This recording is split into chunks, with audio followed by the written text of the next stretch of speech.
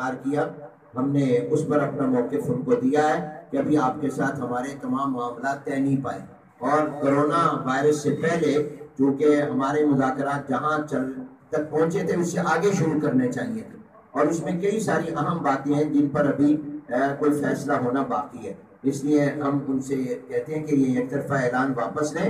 पहले हमारे साथ मुजात में संजीदगी इख्तियार करें और जितनी बातें भी जेर गौर थी, उनको पाया तकमील तक पहुँचाएँ और फिर उसके बाद इन मदारस की रजिस्ट्रेशन का अमल कामयाब भी होगा, मुफीद भी होगा। बहुत मेहरबानी।